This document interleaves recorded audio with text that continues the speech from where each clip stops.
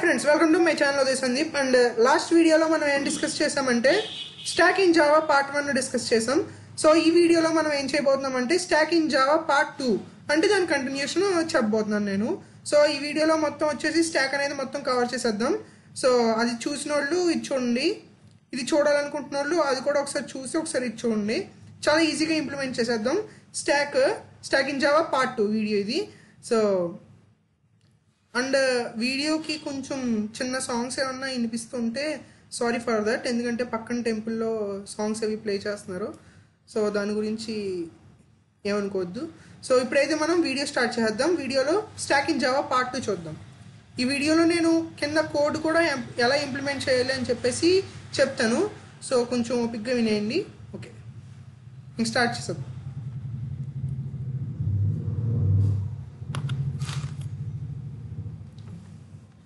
Stack in Java part two కదా. So మొన్న వీడియోలో ఏం చెప్పుకున్నాం? స్టాక్ యొక్క ప్రాపర్టీస్ చెప్పుకున్నాం. స్టాక్ అంటే ఏంటి? అండ్ స్టాక్ యొక్క ప్రాపర్టీస్ అండ్ స్టాక్ యొక్క హైరార్కీ పార్ట్ వన్లో ఏం చెప్పానో అది ఒకసారి రివైజ్ చేసి తర్వాత పార్ట్ టూలో ఏం చెప్పుకుంటున్నామో అది ఒకసారి చెప్పేస్తాను. ఓకేనా? ఫస్ట్ ఒకసారి రివైజ్ చేస్తే మీకు కూడా మళ్ళీ గుర్తొస్తాయని చెప్పి రివైజ్ చేస్తున్నా. మొన్న అయితే ప్రాపర్టీస్ తర్వాత హైరార్కీ ఏమే ఇంటర్ఫేస్ని ఏమే క్లాసుల్ని inter I mean implement or extend చేసుకుంటుంది అనేది చెప్పేసుకున్నాం హైరర్కి తర్వాత స్టాక్ ఆపరేషన్స్ కూడా చూసాం మనం. తర్వాత స్టాక్ ఆపరేషన్స్ చూసిన తర్వాత స్టాక్ టాప్ వాల్యూ స్టాక్లో టాప్ వాల్యూ ఎలా ఉంటే దాని మీనింగ్ ఏంటి అనేది చెప్పి చూసాం. నెక్స్ట్ ఇవాళ పార్ట్ టూ పార్ట్ టూలో ఏం చేద్దాం అంటే స్టాక్ అనేది ఇంకా ఏమేమి ఇంటర్ఫేస్ని ఇంప్లిమెంట్ చేసుకుంది వాటి వాటి యొక్క ఉపయోగాలు ఏంటి అనేది ఈ వీడియోలో చూద్దాం. అండ్ నెక్స్ట్ సింటాక్స్ ఒకటి చూద్దాం. మెథడ్స్ uh, మీరే చదువుకోవచ్చు. మెథడ్స్ ఇప్పుడు నేను చెప్పిన మీరు చదువుకున్న ఒకటే. అండ్ నెక్స్ట్ uh, రెండు కోడ్ ఇంప్లిమెంటేషన్స్ చూద్దాం. ఓకేనా వీడియోలో? So let start our video ఇక్కడ ఇక్కడ నుంచి పార్ట్ టూ ఇప్పుడు నేను ఏం చెప్దాం అనుకుంటున్నానంటే స్టాక్ అనేది సీరియలైజబుల్ ఇంటర్ఫేస్ని క్లోనబుల్ ఇంటర్ఫేస్ని ఎటరబుల్ ఇంటర్ఫేస్ని కలెక్షన్ ఇంటర్ఫేస్ని లిస్ట్ ఇంటర్ఫే ఇంటర్ఫేస్ని ర్యాండమ్ యాక్సెస్ ఇంటర్ఫేస్ని కూడా ఇంప్లిమెంట్ చేసుకుంటుంది.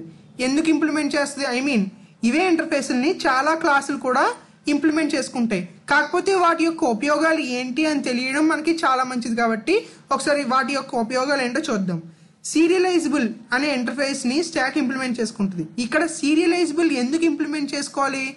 దాని ఉపయోగం ఏంటి అనేది ఒకసారి చూద్దాం. It is a marker interface that that classes must implement if they are to be serialized and deserialized. Okay ఇది మీకు ఐ మీన్ ఎప్పుడైనా ఒక ఆబ్జెక్ట్ని సీరియలైజబుల్ అంటే ఇక్కడ వచ్చిన దాన్ని మామూలుగా చదవండి. యాక్చువల్గా దీని మీనింగ్ ఏంటంటే ఒక ఆబ్జెక్ట్ని కనుక మనం ఒక సీరియలైజబుల్ ఒక స్ట్రీమ్ మేనర్లో పంపాలి అనుకుంటే ఏమన్నా ఫైల్ కానీ దేనికన్నా ఒక స్ట్రీమ్ ఒక సీరియలైజబుల్గా ఒక స్ట్రీమ్ మేనర్లో పంపాలి అనుకుంటే దానికి సీరియలైజబుల్ ఇంటర్ఫేస్ అనేది ఉపయోగపడుతుంది. ఓకేనా? Next cloneable interface. Cloneable interface అంటే మీరు తర్వాత చదువుకోండి. క్లోనబుల్ ఇంటర్ఫేస్ అంటే ఒక ఆబ్జెక్ట్కి సపరేట్ కాపీ అదే ఆబ్జెక్ట్ లాగా ఒక సెపరేట్ కాపీ చేయడానికి క్లోనబుల్ ఇంటర్ఫేస్ అనేది ఉపయోగపడుతుంది this is interface in Java which needs to implemented by class to allow its object to be cloned clone అంటే ఒక కాపీ ఓకేనా? నెక్స్ట్ ఏట్రబుల్ ఏట్రబుల్ ఇంటర్ఫేస్ యొక్క ఉపయోగాలు ఏంటో చూద్దాం. Next this interface represents a collection of objects which is iterable meaning which can be iterated అయ్యో. సరే. ఈ మీనింగ్స్ మీకు తెలుగులో అందుకే నేనే చెప్పేస్తున్నా. ఒకసారి మళ్ళీ మీరు చూసినప్పుడు గుర్తొస్తుంది. యాక్చువల్గా ఇది ఎందుకు ఇంప్లిమెంట్ చేసుకుంటుందని కరెక్ట్ అయిన డెఫినేషన్ ఇవ్వలేదు. ఒక టెక్నికల్ డెఫినేషన్ అలా ఇచ్చారు. ఓకే నేను చెప్తాను. అలా ఫాలో అయిపోండి. ఎటరబుల్ అంటే ఏంటంటే ఇప్పుడు మనం ఇన్సర్ట్ చేస్తాం కదా ఒక వెక్టర్ కానీ స్టాక్ కానీ దేనికన్నా దే ఏ డేటా స్ట్రక్చర్లో కన్నా ఎలిమెంట్స్ అనేవి ఇన్సర్ట్ చేస్తాం కదా ఆ ఇన్సర్ట్ చేసిన ఎలిమెంట్స్ని యాక్సెస్ చేయడానికి ఎటరబుల్ ఇనే అనే ఇంటర్ఫేస్ ఉపయోగపడుద్ది. ఎటరేటర్తో మనం యాక్సెస్ చేస్తాం కదా అంటే ఆ ఎలిమెంట్స్ని మనం తీసుకోవాలన్నా లేకపోతే ఆ ఎలిమెంట్స్ని ప్రింట్ చేయాలన్నా అలా ఆ ఎలిమెంట్స్ని యాక్సెస్ చేయాలంటే మనకు కావాల్సిన ఇంటర్ఫేస్ ఇటరబుల్ ఇంటర్ఫేస్ ఓకేనా next collection interface collection interface maximum అన్ని డేటా స్ట్రక్చర్స్ ఇంప్లిమెంట్ చేసుకుంటాయి. ఎందుకో ఒకసారి చూద్దాం. A collection represents a group of objects known as its elements the collection interface is use to pass around collections to objects which maximum generality is receive ఏం లేదు ఈ collection అంటే ఒక గ్రూప్గా చేయడానికి. మనం ఎప్పుడన్నా ఒక కొన్ని ఆబ్జెక్ట్స్ని ఒక గ్రూప్గా చేయాలి అనుకున్నప్పుడు కలెక్షన్ ఇంటర్ఫేస్ ఉపయోగపడుద్ది. దీన్ని అంత నొక్కి చూడాల్సిన అవసరం ఏం లేదు. Next list interface list interface provides a way to store ordered collection it is a child interface of collection ఒక ఆర్డర్డ్ కలెక్షన్గా పెట్టుకోవాలి అనుకున్నప్పుడు లిస్ట్ ఇంటర్ఫేస్ అనేది ఉపయోగపడుతుంది ఆల్రెడీ ఇది స్టాక్లో ఈ ఇంటర్ఫేస్లన్నీ స్టాక్లోకి ఇన్హెరిట్ అయిపోయి ఉన్నాయి. ఓకేనా ఇంప్లిమెంట్ అయిపోయి ఉన్నాయి. మనం వాడడాన్ని బట్టి ఉంటుంది ఓకేనా ఈ వీటి ఉపయోగాలు ఏంటో తెలుసుకోవడం మంచిది ఓకేనా next random access list interface తెలుసు కదా ఒక ఆర్డర్లో పెట్టడానికి list interface next random access it is a marker interface used to used by list implementations to indicate that they support fast random access ఇక్కడ ర్యాండమ్ యాక్సెస్ అంటే జనరల్గా ఏ data structure కన్నా మనం ఏం కోరుకుంటాం? ఏ ఎలిమెంట్ ఇన్సర్ట్ చేసిన ఎలిమెంట్స్ ఫాస్ట్గా యాక్సెస్ చేయగలుగుతున్నామా లేదా అనేది. అంతే కదా? అలా ఫాస్ట్గా యాక్సెస్ చేయి అవ్వగలిగేలా చేసేది ర్యాండమ్ యాక్సెస్ ఇంటర్ఫేస్ ఓకేనా ఎక్కువ కన్ఫ్యూజ్ అవ్వద్దు. జస్ట్ ఎలా చెప్పానో అలా ఫాలో అయిపోతే చాలు. నెక్స్ట్ సింటెక్స్ ఏంటంటే స్టాక్కి స్టాక్ ఒకవేళ మనం ప్రోగ్రామింగ్లో స్టాక్ని ఒక స్టాక్ని డిక్లేర్ చేయాలంటే దాని సింటాక్స్ ఏంటంటే ఇక్కడ చూడండి. దీంట్లో మనం కోడ్ కూడా రాసుకోవచ్చు నోషన్లో తెలిసిందేగా ఇక్కడ చూడండి. ఇంపోర్ట్ జావా డాట్ యూటిల్ అని చెప్పి స్టాక్ అనేది యూటిల్ ప్యాకేజ్లో ఉంటుంది తెలిసిందే? ఐ మీన్ స్టాక్ అనేది యూటిల్ ప్యాకేజ్లో ఉంటుంది. యూటిల్ ప్యాకేజ్ ఇంపోర్ట్ చేసుకుని మనం కోడ్ రాసుకుని స్టాక్ అనేది క్రియేట్ చేయాలంటే ఈ రకమైన సింటాక్స్తో క్రియేట్ చేయాలి. Stack E stack equal to new stack E అని చెప్పి క్రియేట్ చేయాలి. ఇక్కడ ఈ అంటే ఏంటంటే జనరిక్స్ ఏం లేదు. ఈ అంటే జస్ట్ జనరిక్స్ అని గుర్తుపెట్టుకోండి. అంటే జనరిక్స్ అంటే మనకి ఇంటిజర్ స్టాక్ కావాలా స్ట్రింగ్ టైప్ స్టాక్ కావాలా లేకపోతే ఫ్లోట్ టైప్ స్టాక్ కావాలా అలాగా.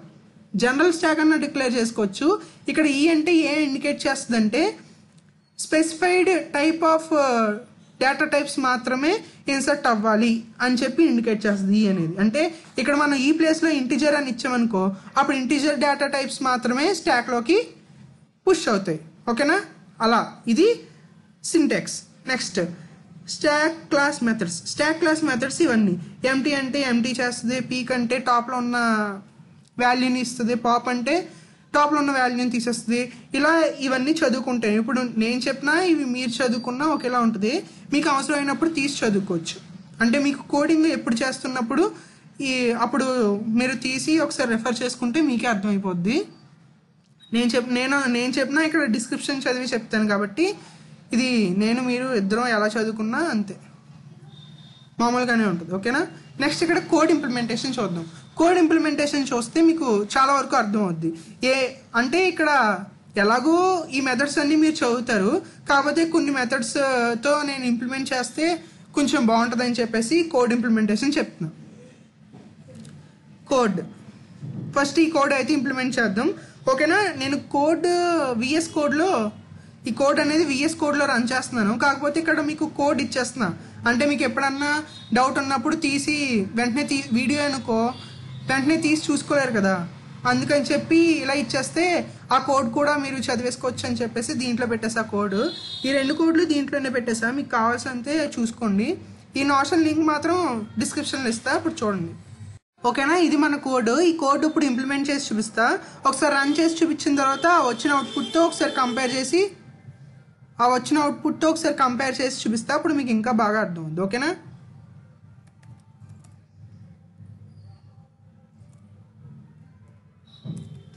ఓకే ఇది మన కోడ్ రన్ అయింది. అవుట్పుట్ వచ్చింది. అవుట్పుట్తో ఒకసారి మీకు ఎక్స్ప్లెయిన్ చేస్తే ఇంకా బాగా అర్థం ఇక్కడ చూడండి. యూటిల్ ప్యాకేజ్ని ఇంపోర్ట్ చేసాం ఐఓ ప్యాకేజ్ని ఇంపోర్ట్ చేసాం నెక్స్ట్ ఏంటి? స్టాక్ డెమో అంటే ఇక్కడ నా క్లాస్ నేను వాడుతున్న క్లాస్ స్టాక్ స్టాక్ డెమో మన మెయిన్ క్లాస్ స్టాక్ డెమో ఇప్పుడేంటి? స్టాక్ స్టాక్ డెమో తర్వాత మెయిన్ మెథడ్ మెయిన్ మెథడ్లో stack integer stack equal to new stack integer అని చెప్పి ఇచ్చాను. ఇక్కడ ఇందాక చెప్పాను కదా ఈ అనే ప్లేస్లో ఇక్కడ ఏమి ఇచ్చాను? ఇంటిజర్ ఇచ్చా. అంటే ఇప్పుడు మనం స్టాక్ ఒకటి క్రియేట్ చేసాం. ఆ స్టాక్లోకి ఇంటిజర్ వాల్యూస్ మాత్రమే ఇన్సర్ట్ అవుతాయి. ఓకేనా? దీనే జనరిక్స్ అంటారు. అంటే జనరిక్స్ అంటే ఏమీ లేదు. జస్ట్ మనం ఏ ఏ డేటా టైప్ అయితే మెన్షన్ చేసామో ఆ డేటా టైప్ వరకు ఇన్సర్ట్ అవుతాయి. ఇంటిజర్ అని మెన్షన్ చేస్తే ఇంటిజర్ డేటా టైప్స్ మాత్రమే ఇన్సర్ట్ అవుతాయి. ఓకేనా? అలా.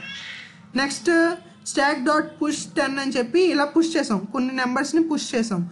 పుష్ చేసినవన్నీ ఇన్సర్ట్ అయ్యాయి. ఇన్సర్ట్ అయిన తర్వాత పుష్ అంటే ఏంటి? ఇన్సర్ట్ చేయడానికి పుష్ మెథడ్ వాడతాం స్టాక్లో okay next system dot out dot print అని ఇనిషియల్ స్టాక్ స్టాక్ అని చెప్పి ఇచ్చాం. అంటే ఏంటి? స్టాక్ని ప్రింట్ చేయమన్నాం. ప్రింట్ చేస్తే ఇలా వచ్చింది. Ten fifteen thirty twenty five అని. చూడండి ఇక్కడ మనం ఏ ఆర్డర్లో ఇన్సర్ట్ చేస్తే ఆ ఆర్డర్లోనే వచ్చింది. నెక్స్ట్ పాప్డ్ ఎలిమెంట్ అని చెప్పి స్టాక్ డాట్ పాప్ అని చెప్పి కాల్ చేసాం. పాప్ అంటే మనం లాస్ట్ ఏది ఇన్సర్ట్ చేసాం? ఫైవ్ అనేది ఇన్సర్ట్ చేసాం. కాబట్టి పాప్ అంటే ఎప్పుడు కూడా లాస్ట్ ఏది ఇన్సర్ట్ చేస్తే అదే రిమూవ్ అవ్వాలి. ఓకేనా? సో ఏది రిమూవ్ అయింది? ఫైవ్ అనేది రిమూవ్ అయింది. నెక్స్ట్ మళ్ళీ పాప్ అనేది కాల్ చేసాం. పాప్ అనేది కాల్ చేస్తే నెక్స్ట్ టాప్లో ఏది ఉంది? ట్వంటీ ఉంది. ఆ ట్వంటీ రిమూవ్ అయింది. ఓకేనా? నెక్స్ట్. ఈ రెండు రిమూవ్ చేసిన తర్వాత ఒకసారి మళ్ళీ స్టాక్ అనేది ప్రింట్ చేసాం. ప్రింట్ చేస్తే ఏమైంది? టెన్ ఫిఫ్టీన్ థర్టీ ఓకేనా? ఈ రెండు రిమూవ్ అయ్యి ఇక్కడ టెన్ ఫిఫ్టీన్ థర్టీ ప్రింట్ అయింది. ఇది ఒక కోడ్ చాలా బేసిక్ కోడ్ చాలా బాగా నీట్గా అర్థం అవుద్ది నెక్స్ట్ ఇప్పుడు ఏం చేద్దామంటే ఇటరేటర్ అనే అంటే ఇంకో కోడ్ ఉంది కదా. ఇటరేటర్ని యూజ్ చేసి స్టాక్ అనేది ఐ మీన్ స్టాక్లో ఇటరేటర్ని యూజ్ చేసి ఎలిమెంట్స్ని ఎలా యాక్సెస్ చేయగలం అనేది ఇంకో కోడ్ అది చూపిస్తే ఎలిమెంట్స్ని ఇటరేటర్తో ఎలా యాక్సెస్ చేయొచ్చు అనేది కూడా అర్థం అవుద్ది మీకు. కాబట్టి అది కూడా చూపిస్తాను. జస్ట్ ఏం లేదు నేను ఇచ్చిన కోడ్ ఈ లింక్ నేను డిస్క్రిప్షన్లో ఇస్తున్నాను కదా. జస్ట్ ఇది ఇలా కాపీ చేసి మీరు ఏ ఎడిటర్ అయితే వాడతారో ఆ ఎడిటర్లో పేస్ట్ చేసేయడమే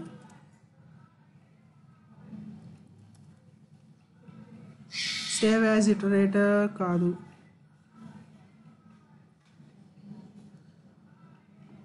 ఓకే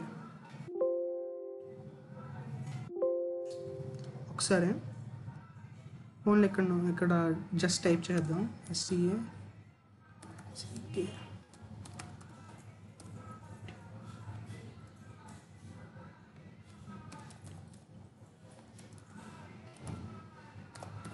iteration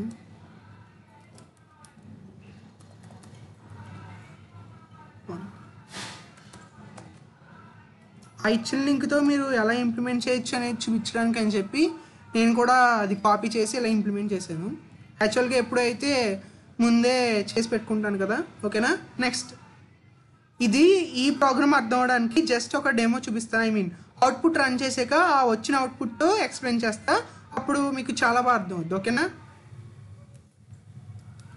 జేఎస్ జాసి టిఎస్సికే స్టాక్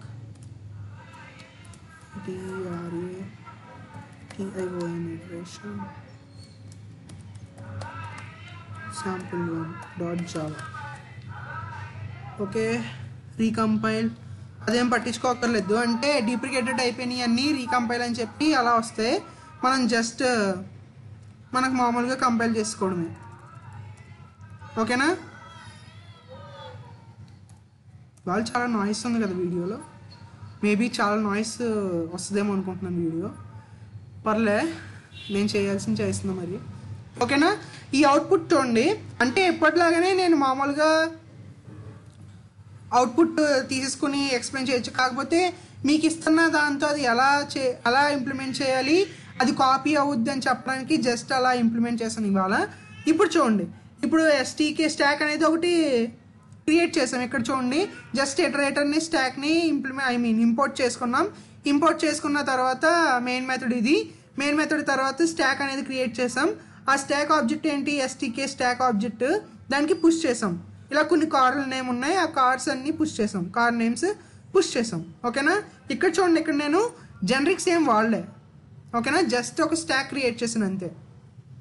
ఇలా కూడా క్రియేట్ చేసుకోవచ్చు. ఇప్పుడు మీరు ఇక్కడ స్ట్రింగ్ టైపే కాకుండా ఇంటిజర్ టైప్ కూడా ఇన్సర్ట్ చేసుకోవచ్చు. జనరిక్స్ వాడకపోతే.